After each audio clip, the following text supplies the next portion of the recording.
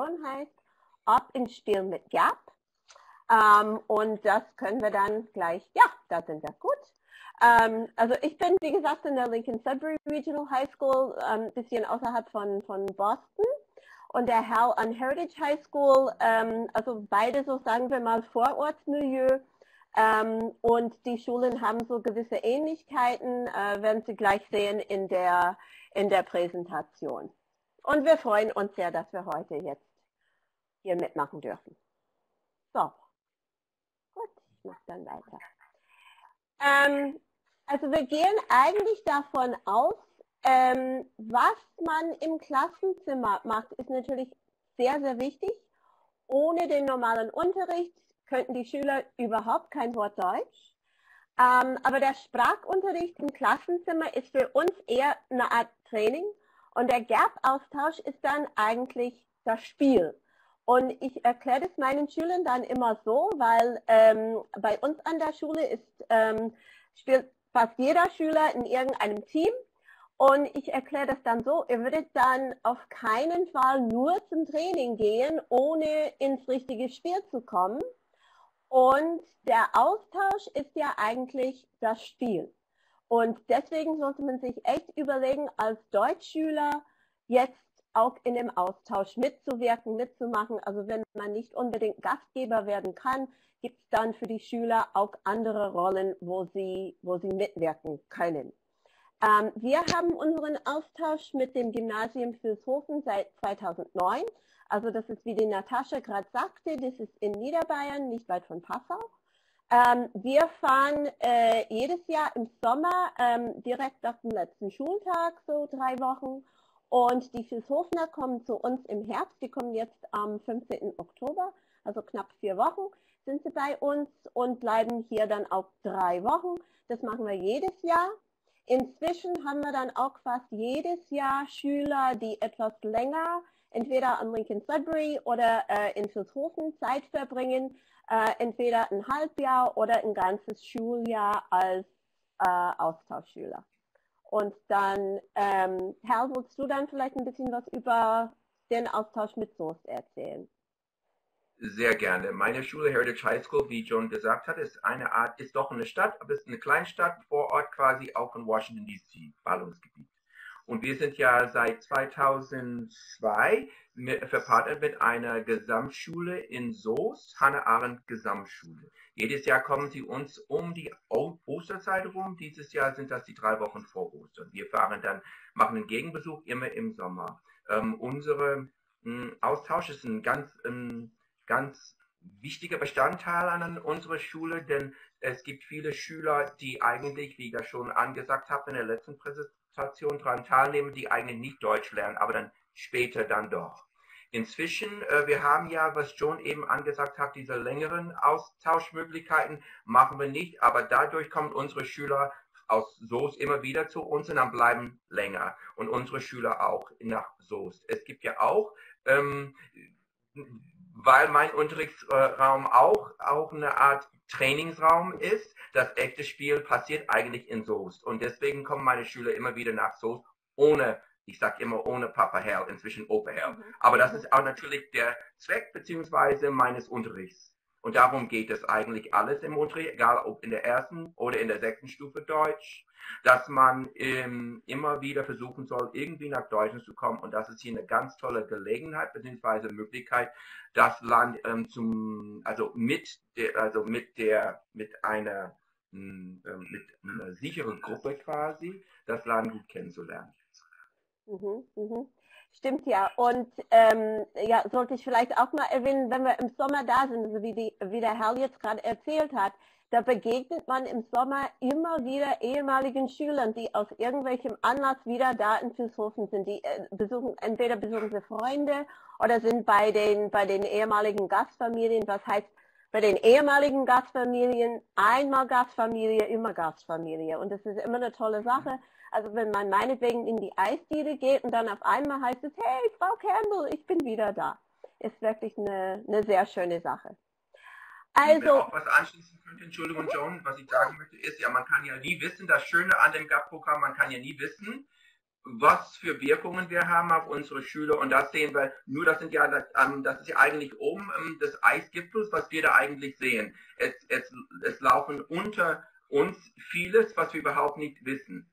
Und ab und zu mal bekommen wir Postkarten von diesen ganz tollen mh, mm, Partnerschaften, die über die Jahre hindurch entstanden sind, mit einer Postkarte aus Peru zum Beispiel habe ich bekommen.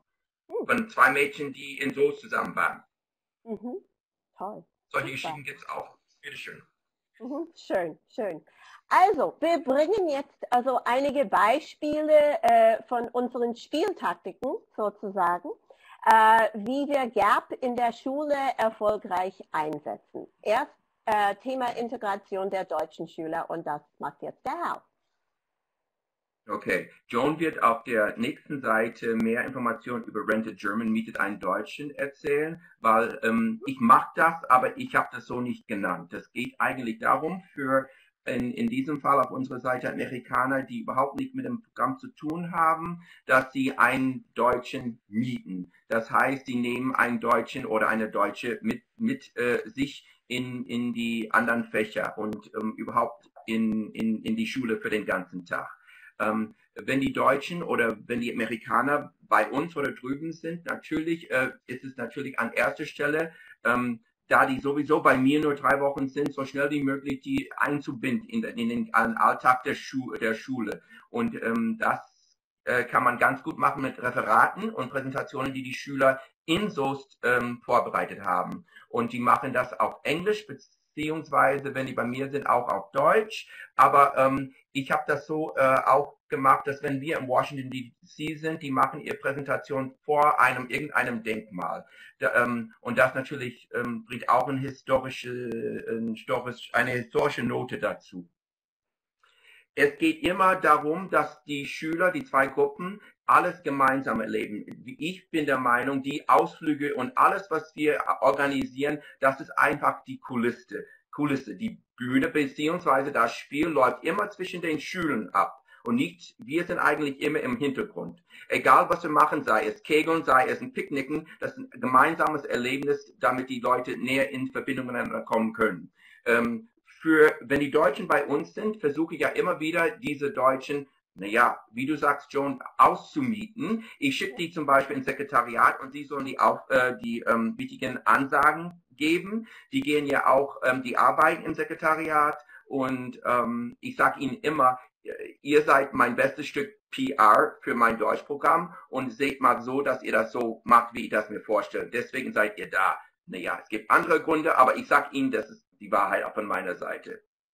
Ähm, wie ich das schon erwähnt habe, ähm, Schüler gehen ja in andere Fächer ohne ähm, mein Wissen und die, meine ähm, ähm, Kollegen, die kommen ja zu mir zurück und fragen immer wieder, wann kommen die wieder mich besuchen und dann mache ich einen Termin mit ihnen, um sicher zu sein, dass die meinetwegen in die Chemiestunde wieder gehen. Denn die, ähm, was ich sehr ähm, was ich gelernt habe im Laufe meiner Zeit ja mit dem GAP-Programm ist, dass die amerikanischen Schüler sowie auch die Lehrer, die interessieren sich sehr für das Schulsystem Deutschland und es, ähm, die merken, wie das eigentlich nicht ähm, so ähm, gehandhabt wird wie in den USA bei uns an den Schulen. Dankeschön. Genau. Ähm, okay, dann geht es jetzt ein bisschen weiter. Ähm, wir werden also etwas näher erklären, was wir mit diesen ähm, Programmen, mit diesen ganzen Begriffen meinen. Und erstens werde ich jetzt ein bisschen was erzählen über unser Programm an Lincoln Sudbury, Rent a German. Ähm, ich weiß, es gibt dann auch dieses Programm vom Goethe-Institut. Ähm, aber äh, meine Schüler haben irgendwie vor 10, 12 Jahren diesen Begriff erfunden ähm, und es funktioniert ganz toll äh, bei uns an Lincoln Sudbury. Also es geht darum, in der Regel kommen zu uns aus Wieshofen maximal 20 Schüler. Und das heißt, wir haben maximal 20 Gastfamilien, 20 LS-Schüler, die etwas näher involviert sind mit diesem Austausch. Und das fanden wir eigentlich langsam schade, weil, in, weil wir inzwischen ungefähr 180 bis 190 Schüler an Lincoln Sudbury haben, die Deutsch lernen. Und meine Kollegen und ich, wir waren halt der Meinung, alle sollten eigentlich von diesem Austausch profitieren. Die Austauschschüler aus Deutschland machen natürlich im Unterricht mit, aber dann eher so als Gruppe. Und dann wollten wir irgendwie so eine Methode finden, damit die anderen Schulen, die eben niemanden aufgenommen haben vom Austausch, dass die etwas, ähm, einen etwas näheren Kontakt zu den deutschen Austauschschülern finden konnten. Und ähm, so entstand dann Rent a German. Ähm, es geht darum, so ungefähr zwei Wochen vor der Ankunft ähm, unserer Austauschpartner, ähm, meine Kollegen und ich, wir machen, wir machen so ganz äh, große Tabellen mit den Stundenplänen von ähm, anderen Schülern im Deutschprogramm, die gerne äh, einen Schüler aus Vilshofen in die eine oder in die andere Unterrichtsstufe mitnehmen möchten. Ähm, es sei denn, die haben dann ähm, also eine Biostunde, die sie besonders interessant finden oder ähm, was ganz gut ankommt bei uns sind die ganzen Wahlfächer, die man eben in den USA hat und vielleicht nicht so sehr am deutschen Gymnasium. So Sachen, ähm, also die Kunstangebote bei uns zum Beispiel, Metal Arts, Jewelry Making etc. Das alles findet man eben nicht an einem Gymnasium und das ist für die Deutschen sehr interessant. Also meine Schüler und die Schüler meiner Kollegen tragen sich dann in dieser großen Tabelle ein und ähm, dann erstellen wir so langsam einen kleinen Stundenplan für alle Gäste aus Vilshofen, damit sie ungefähr nach dem dritten Unterrichtstag bei uns an der Schule mit anderen Schülern in den Unterricht gehen. Ähm, das ist dann ähm, natürlich profitieren äh, die Schüler, die die Deutschen mitnehmen davon, weil sie sie etwas näher kennenlernen ähm, die Gastgeber, wir haben dann auch ähm, inzwischen gelernt, dass es für die Gastgeber auch was ganz Positives ist, denn ähm, also für einen Teenager 24 Stunden am Tag rund um die Uhr, drei Wochen lang mit einem Austauschpartner zusammen, das ist zwar eine ganz nette Sache, aber irgendwann einmal braucht man eine kurze Pause. Und tagsüber in der Schule ähm, haben sie dann diese Pause, in dem die Freunde dann den Austauschpartner in die eine oder die andere Stunde mitbringt. Das ist für die deutschen Schüler auch sehr interessant, denn die, die sehen also eigentlich die Breite des Angebots bei uns sind nicht nur darauf begrenzt, immer mit den Partnern in die gleichen Unterrichtsstunden zu gehen, sondern die können dann auch, die können sich dann auch andere Fremdsprachen angucken, also Sportangebot etc. Ähm, ein bisschen was zum organisatorischen ähm, und das trägt dazu bei, dass, die, dass das ganze Deutschprogramm, auch die Anfänger, so richtig involviert sind. Äh, unsere Schüler im Anfängerkurs und in dem Deutsch 2 Kurs die sind eigentlich dafür zuständig, diese Stundenpläne für Rente German äh, für unsere Gäste aus Vilshofen zu erstellen. Nachdem die Schüler äh, die Tabellen ausgefüllt haben, äh, meine Anfänger äh, kriegen dann einen leeren Stundenplan in die Hand und ähm, bereiten das vor. Äh, thematisch, das passt eigentlich sehr gut äh, zu dem Unterricht in Deutsch 1 und Deutsch 2. Da hat man als Themen Schulfächer, also kommt sowieso äh, fast in, in, in jedem Lehrwerk vor, äh, Wochentage, Uhrzeit. Also das sind halt die Themen, die man sowieso im Unterricht behandelt. Da hat man also wirklich was ganz Praktisches und was äh, ganz Handfestes für, für die Schüler. Ähm, also wir haben bis jetzt wirklich nur äh, ganz, ganz, ganz Positives erlebt. Und für mich sind dabei immer die schönsten Momente, wenn unsere Gäste aus Wieshofen zu mir kommen, ähm, strahlend und äh, fragen mich dann, hey, Frau Campbell, äh, bin ich jetzt die Stunde gerentet äh, in Ihrem schönen Englisch? Das ist ähm, also wirklich eine ganz positive Erfahrung für, ähm, für alle. Also, und dann jetzt äh, weiter zu den Ausflügen. Und zu den Ausflügen. Ich habe das schon erwähnt heute Morgen, dass ich quasi alle zwei ähm, Tage in Verbindung äh, bin mit meinen Kollegen drüben auf WhatsApp.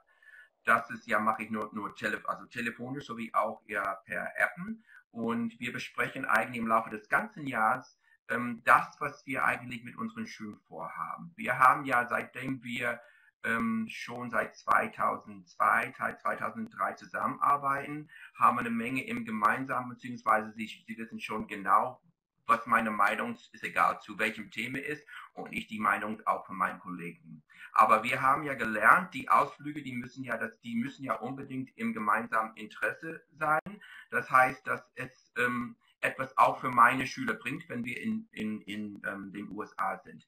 Man ähm, hört und staune, es gibt viele Schüler, die bei uns wohnen. Wir sind ja 40 Minuten von Washington DC, die noch nie da gewesen sind. Und insofern gibt es natürlich viele Überraschungen für meine Schüler. Ähm, landschaftlich sind wir alle hier in den USA, sowie auch in Deutschland, umgeben von Schönheit. Und da gibt's, liegt auch auf der Hand. Es gibt ja schöne Stellen überall, wo man picknicken kann. Und die sind all, alle, wie gesagt, das ist alles nur eine, ein Hintergrund, eine Kulisse, ähm, damit die Schüler in, besser in Verbindung kommen können und einander besser kennenlernen können. Äh, kulturelle Sehenswürdigkeit. Sie sehen ja hier der Donner Manor, das ist, das ist auch ein, unser GAP-Projekt. Das ist ja, wo ähm, George Marshall und seine Frau gewohnt haben. Und das hat natürlich hier in diesem Haus anscheinend, ähm, die, das war der, ähm, die, der Geburtsort von dem Marshallplan. Und natürlich hat das unheimlich viel mit Deutschland zu tun. Und wir besuchen, das ist ja bei mir ungefähr mh, hm, zehn Minuten die Straße runter. Wir machen da auch einen ganzen Tag, da haben wir eine Führung von, von einem Dozenten da. Und da wird auch gegessen. Und die, die haben auch ein auch ein Klassenzimmer, denn da kommen Lehrer aus den ganzen USA dahin und die werden ja da unterrichtet in,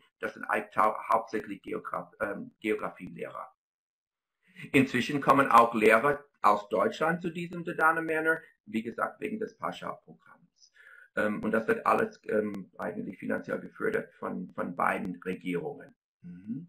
Ähm, es ist ja wichtig, dass, ähm, dass die beiden Schul Schulgruppen, Schülergruppen ähm, vorhanden sind und immer das Recht haben, mitzumachen. Und hier will ich auch ähm, kurz darauf ähm, eingehen, was das Finanzielle angeht. Ich habe gelernt, und das ist meine Erfahrung, das ist, wenn, wenn ähm, meine Schüler an irgendetwas teilnehmen wollen, die sind für das Geld zuständig. Das heißt, wenn ich, ähm, wenn wir in Deutschland sind und wir Berlin besuchen, ähm, jeder bezahlt für sich selber. Ähm, da ich meine Kollegen sehr gut kenne, die bezahlen das, die rücken das im Voraus und dann, wenn ich da bin, ich überweise das Geld von meinem Konto auf ihres. Oder ich habe natürlich meine Bankkarte und dann bekommt ihr das Bar auf die Hand.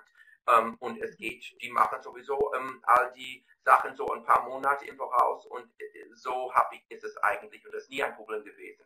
Andersrum ist es auch so, ähm, wenn das nötig ist und nicht per Kreditkarte gemacht werden kann in den USA, weil natürlich alles hier inzwischen auch in Deutschland per Kreditkarte bezahlt im Voraus werden kann, ähm, dann würde ich das Geld vorausstrecken und dann bekomme ich das Geld hier zurück. Das fand ich ja richtig so, denn ähm, in, ein, in meinem anderen, äh, in, in der anderen Partnerschaft ähm, habe ich immer das Gefühl, da kamen ja 20 Schüler rüber und wir waren ja nur 10 rüber und ähm, wir haben das nicht so finanziell gesehen. Das heißt, die Deutschen haben für uns drüben bezahlt und wir für die ähm, Deutschen hier. Und ich war, ich persönlich fand das irgendwie unfair den Amerikanern gegenüber. Und deswegen finde ich, wenn mein Schüler etwas in Deutschland erleben möchte, er soll eigentlich dafür bezahlen.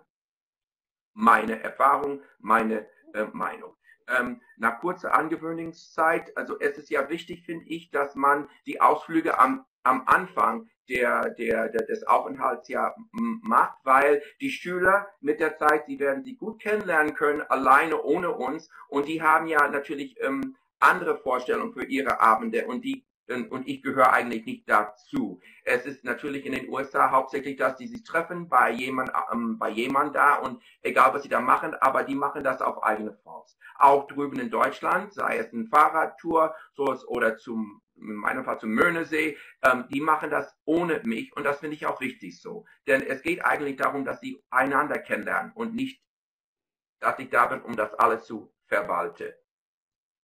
Ähm, wie ich das schon eben angesprochen habe, die Ausflüge sind eigentlich bei uns eine Tradition. Die Kinder wissen ja, wenn die in Deutschland sind, die haben diese Gelegenheit, Berlin auch zu besuchen ähm, oder hier auch New York.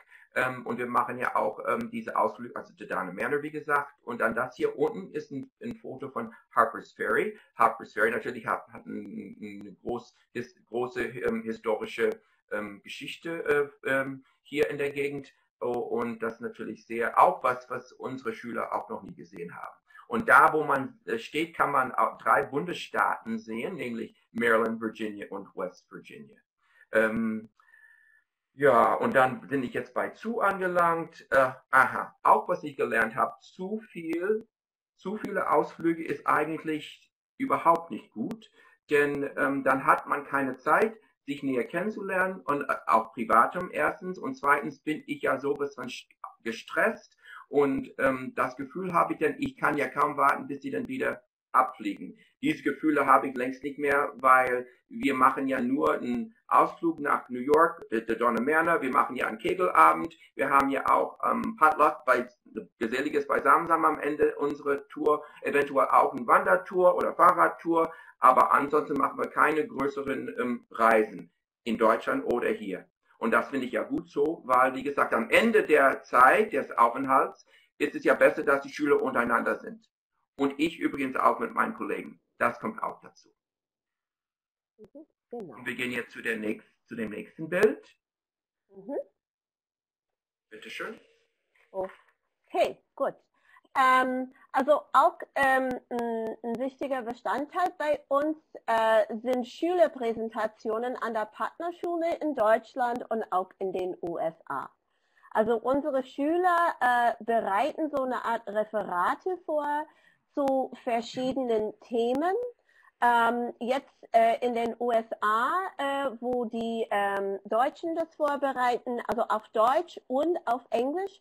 Also auf Englisch ähm, etwas besser für die, für die Anfänger, also Deutsch 1 und Deutsch 2. Ähm, auf Deutsch für die höheren Unterrichtsstufen, äh, also ab Deutsch 3, Deutsch 4 äh, und AP natürlich, ähm, da halten sie ihre Referate auf Deutsch. Also zu verschiedenen Themen, ähm, ups, hoppala, äh, wie zum Beispiel, ähm, es geht um Schule in Deutschland oder ähm, um die Partnerstadt. Da haben wir immer eine Präsentation zum Thema Vilshofen. Ähm, dann haben wir auch eine Präsentation zum Thema Essen in Deutschland und spezifisch Essen in Bayern, weil es dort doch einige Spezialitäten gibt. Ähm, äh, Wenn es irgendwelche äh, besonderen äh, Ereignisse gibt in dem Jahr, dann organisiere ich das immer mit meinen Kollegen aus Bieshofen, dass man da auch Sonderreferate hat. Äh, dieses Jahr hatten wir ähm, auf, äh, in Deutschland, also das heißt meine Schüler von Lincoln Sudbury, die haben natürlich über äh, die Wahl präsentiert, weil das ein sehr interessantes und aktuelles Thema ist in Deutschland war. Und die Vilshofener haben bei uns letztes Jahr ein sehr interessantes Referat zum Thema Flüchtlinge in Vilshofen. Also nicht so weit und breit in Deutschland generell, sondern äh, Flüchtlinge in Vilshofen und äh, wo sie unterbracht werden und äh, wie die ähm, wie die Vilshofener eigentlich ähm, mit diesen Gästen, sagen wir mal, in der Heimat, Heimatstadt da umgehen. Ähm, in Deutschland, äh, meine Schüler präsentieren zu ähnlichen Themen. Also Sport kommt immer sehr, sehr gut an. Und dann schauen wir mal, dass wir ähm, zum Teil eine gewisse Ausrüstung mitbringen.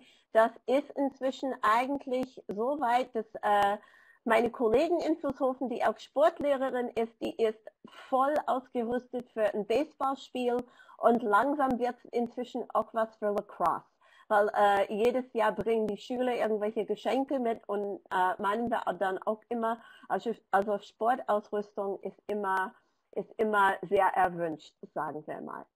Ähm, das ist dann auch gut, also man bereitet hat so eine PowerPoint oder Prezi oder ähm, Keynote vor und äh, die Dinge behalten wir dann auch auf ähm, USB-Stick und die kann man dann äh, immer wieder hernehmen für den Unterricht in Deutschland und in den USA, wenn das eine oder das andere Thema kommt. Ähm, dann ähm, haben meine Kollegen und ich hier in den USA also immer wieder auf diese Referate zurückgegriffen, um ähm, einige Dias zu zeigen oder so. Und ich weiß das von den Kollegen in Vilshofen. Äh, die haben auch ähm, immer wieder auf unsere Referate, unsere Referate zurückgegriffen. Ähm, also vor allem da, wo es mehr Englischlehrer gibt, äh, die Schüler äh, schaffen das in Deutschland nicht immer in jede ähm, Klasse zu kommen. Aber wenn man die Referate dann nachher elektronisch hat, dann können die Lehrer das auch im Unterricht, im Unterricht zeigen. Ähm, nachher werde ich dann noch ein bisschen was über ein Sonderprojekt für dieses Jahr sprechen. Ähm, das hat sich eigentlich aus diesen Referaten ergeben, denn wie gesagt, letztes Jahr haben Schüler aus Vilshofen zum Thema Flüchtlinge in Vilshofen was präsentiert. Und äh, meine Schüler waren so also begeistert und wirklich betroffen von, von dieser Information, ähm, dass sie ähm, im Sommer wirklich aktiv werden wollten und ähm, eine Art Integrationsarbeit mit den Flüchtlingen vor Ort da in Vilshofen äh, unternehmen wollten. Also darüber werde ich ähm, werde ich noch etwas ausführlicher berichten, aber nur damit Sie das wissen, das hat sich eigentlich aus diesen Präsentationen ergeben. Ähm, das machen wir auch, also wie Herr sagte, mit den Ausflügen, die Präsentationen, also die Referate, machen wir auch äh, ziemlich gleich am Anfang, also nach den ersten paar Tagen, weil also da ist noch ein gewisser Jetlag äh, im Spiel und die Schüler müssen sich so ein bisschen einleben, aber also normalerweise erst also ab dem dritten Tag macht man das. Ähm, und äh, dann lernen, lernen die Schüler sich auf beiden Seiten etwas, etwas besser kennen. Ähm, das ist nicht nur, ach, der Typ, der da hinten in der Ecke sitzt, sondern ach, das ist der, der Jonas, der uns über deutsches Essen erzählt hat.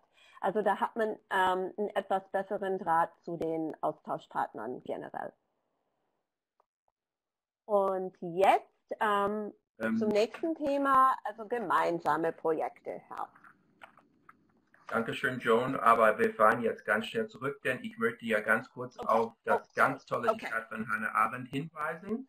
Und ah, ja. zwar, mhm. ich versuche das hier ganz schnell zu lesen, ich will nicht sein wie die anderen, sondern auch in meiner Art um, ernst nehmen und dazu quasi ja ähm, ähm, zur Gemeinschaft beitragen. Dadurch, äh, dadurch gerade Entschuldigung, gerade durch äh, respektierte Vielfalt lebt die Gemeinschaft, Gesellschaft. Und das ist eigentlich, was wir als Deutschlehrer, wir sind ja in der Regel Einzelgänger oder höchstens zwei Deutschlehrer an einer Schule und wir wissen, was das heißt, ja, dass wir unser eigenen Beitrag ja leisten müssen, um der Welt zu zeigen, wie toll das eigentlich ist, ja die deutsche Sprache zu lernen. Und das machen wir eben durch, in diesem Fall durch das GAP-Programm an meiner Schule, an den meisten Schulen in den USA ist bestimmt auch der Fall, dass wir die einzigen sind, die eigentlich jedes Jahr überhaupt einen Blick in eine andere Welt haben durch unsere Austauschprogramme. Und das finde ich natürlich toll. Und hier gemeinsam Projekte, das ist natürlich ein ganz tolles, ähm, ganz tolle ähm,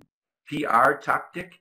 Ähm, und ihr seht ja, es hat geklappt dieses Jahr. Ähm, Angela hatte doch, beziehungsweise ich hatte dieses Jahr Zeit für Angela. Das ist meine rechte Hand, meine Damen und Herren. Und das, hat, das war eine ganz schön, schöne Zeit. Der Kaffee hat sehr gut geschmeckt und wir haben natürlich ganz tiefe Gespräche geführt. Ähm, ähm, Kontakt mit anderen Schülern. Ähm, inzwischen, wo wir ganz tolle ähm, Sozialnetzwerke haben, Skype, App, äh, Instant Messaging und Facebook und so, meine Schüler, also unsere Schüler, kennen sich schon Monate im Voraus, bevor sie sich eigentlich eigentlich am Flughafen treffen. Das finde ich ja gut, denn die können ja einiges natürlich nicht nur ähm, über ihre eigenen Familie, anderen Familien kennenlernen und ähm, wo die denn wohnen werden, sondern auch ähm, besprechen, ähm, ein gemeinsames Projekt besprechen, was die denn ja präsentieren wollen, egal ob das in Deutschland oder in Soest oder in Leesburg ist. Und, und das hat natürlich eine Menge Arbeit von uns inzwischen weggenommen, weil das mit dem, wie sieht er aus, wie sieht er aus, was mag der, wie viele Kinder, das können die selber erfahren, das machen die auch. Ähm, ich habe auch äh, alleine, ich mache das auch in, im Unterricht, wir skypen ja mit der Schule, das heißt, wir sehen die ganze Gruppe und die sehen uns, die sehen auch Wir alle sehen, wie die Klassenzimmer ausschauen. Und das natürlich bringt auch eine Menge ähm, Ruhe in die ganze Gruppe, denn und auch Begeisterung, ähm, das liegt auch auf der Hand, denn die haben schon ein Gefühl, wie das denn da drüben ausschaut. Welche Talenten und Rest, es gibt immer welche Schüler, auf jeden Fall bei mir, die gut tanzen und singen können. Und das haben die inzwischen auch von mir gelernt. Haha, sagt er sarkastisch, ist aber wahr. Und ähm, das bringen die auch rüber nach Deutschland. Ähm, und so, naja, ähm, die Deutschen haben auch schöne und gute Musik und das bringen sie auch zu uns rüber. Ähm, ja, ich glaube, ich bin damit fertig, weil okay. wir wenig noch, nur noch neun Minuten ja. haben. Ja, okay. So. Ähm, zu schnell, sorry. Ähm, dann ganz schnell, also ein paar Beispiele äh, von GAP-Projekten, die wir bis jetzt gemacht haben. Ähm, also ein Projekt von uns in Vilshofen äh, war eine Mitwirkung bei einer ganz beliebten Touristenattraktion in der Partnerstadt und zwar äh, bei dem Donau-Planetenweg, äh, der eigentlich von einem Kollegen an dem Gymnasium Vilshofen, Helmut Eckel, ins Leben gerufen worden ist. Ähm, das ist also eigentlich ein Modell von den Planeten, also angefangen mit der Sonne, äh, direkt äh, an der Marienbrücke in Vilshofen und geht dann weiter, also bis zum letzten Planeten. Also ich bin also astronomisch leider also etwas überfragt, ähm, aber es geht weit. ähm, irgendwo im Weltall Ähm, also in der letzten Zeit kommen halt immer mehr englisch äh, sprechende Touristen nach Vilshofen und zwar deswegen, weil der Hafen in Passau, das ist der, ähm, der nächstgrößte Stadt da bei Vilshofen, der Hafen wird halt immer voller. Und für die ganzen Kreuzfahrtschiffe gibt es weniger Platz. Und das heißt, die kommen inzwischen mehr nach Vilshofen, ähm, weil es auch da an der Donau liegt und da sind auch so ein paar Attraktionen bei uns in unserer Kleinstadt. Also Donau-Planetenweg so ziemlich Nummer eins auf der Liste. Ähm, da ist eine App mit einem Smartphone, äh, wo es eine Erklärung der einzelnen Planeten gibt. Und ähm, der Kollege, der Herr Eckel, war eigentlich sehr daran interessiert, dass es auch ins Englische übersetzt wird. Und das haben dann vor ähm, vier Jahren meine Schüler gemacht. Ähm, wir haben die Texte von ihm bekommen, die haben es ähm, auch elektronisch, also wie Hal gerade erwähnt hat, also entweder über WhatsApp oder Facebook oder Snapchat ähm, haben Sie mit Ihren Austauschpartnern zusammengearbeitet, um diese Texte ins Englische zu übersetzen. Und dann sind wir an dem einen Tag ins Tonstudio gegangen und wir haben das aufgenommen. Und heutzutage ist es noch so, also wenn wir diese Tour am Donau-Planetenweg machen, äh, meine Schüler können also ihre äh, Mitschüler hören, zum Teil sind sie auch Geschwister von denjenigen, die jetzt mitfahren. Und ähm, das ähm, das hat uns was gebracht, das hat der Partnerstadt ähm, auch was gebracht. Also haben wir eine, ähm, ein offizielles Dankeschön von den Bürgermeister bekommen, ist also wirklich äh, ganz gut angekommen. Ähm, noch ein Beispiel ähm, ist ein Schnupperkurs, den wir gemacht haben für die Grundschule beziehungsweise äh, für, ähm, äh, für die Middle School bei uns, ähm, auch in Verbindung äh, mit unserem METCO-Programm. Also wenn das Ihnen nichts sagt, das ist ein Sonderprogramm äh, in der Stadt Boston, äh, wo Schüler aus der Innenstadt, also das sind ähm, in der Regel Schüler Afrodeut Afrodeutscher, ja, afroamerikanischer Herkunft. Ähm, und äh, sie fahren halt äh, jeden Tag mit dem Bus uns in Sudbury oder anderen Vororten und gehen da zur Schule.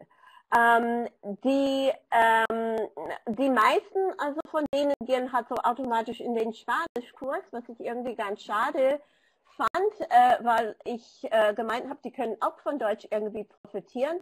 Und dann haben wir dann halt mit diesem Schnupperkurs angefangen, wo die Schüler aus Vilshofen dann in diese Middle School fahren und ähm, einen Mini-Deutschkurs machen mit so Sachen wie mein, mein Name ist, ich komme aus, ich bin 16 Jahre alt und so.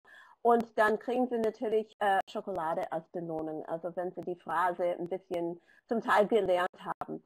Und wir haben gemerkt, seitdem wir das machen, ist die Anzahl der Metro-Schüler im Deutschprogramm Lincoln Sudbury also wesentlich gestiegen. Also wir hatten äh, Jahre, also wo es wirklich vielleicht nur ein Medical-Schüler im ganzen Deutschprogramm war und inzwischen sind es in der Regel also acht bis zehn, also was wirklich ähm, für unsere Gefühle also echt ein, ein, ein Fortschritt ist. Ja. Ähm, und dann, ähm, also zusammen mit, also Hal hat äh, gerade erwähnt, äh, die Rolle von Musik und Tanz. Und das ist auch ein Programm, das wir äh, mit unseren Metco-Schülern zusammen organisiert haben, und zwar Metco Gap Tanzfest. Machen wir einmal im Jahr, dass äh, beide Seiten ein bisschen was von der Tanzkultur miteinander teilen.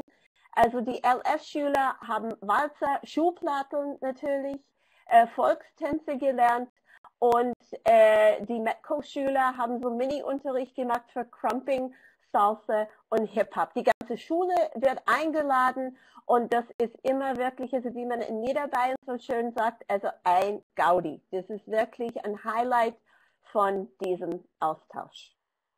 Ähm, äh, drittes Projekt ähm, war dieses Jahr, ähm, ich habe schon erzählt, wir hatten ein Referat zum Thema Flüchtlingssituation in Vilshofen und äh, dabei festgestellt, dass es eine Gruppe von ungefähr 40 Jugendlichen aus Syrien, aus, äh, aus dem Iran, aus Afghanistan in Vilshofen sind, äh, die wohnen in einer ehemaligen Hauptschule äh, in dem Kloster Schweikelberg.